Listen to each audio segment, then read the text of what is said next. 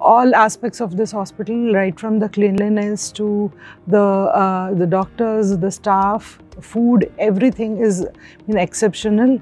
Uh, firstly, this hospital is very well maintained, very clean, neat. The rooms are beautiful. The nursing staff also is very caring, very sincere, very punctual, I must say. My surgeon, Dr. Gadgil, and my anesthetist, uh, Dr. Akshay.